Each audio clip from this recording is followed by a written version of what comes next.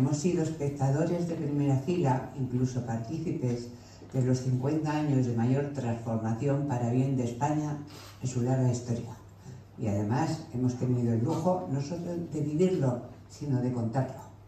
Yo recuerdo, voy a hacerlo personal, que la primera información importante, entre comillas, que me mandó a cubrir la agencia EFE cuando entré, entré de redactora con 22 años fue la de contar cómo Franco inauguraba el pantano de Buendía.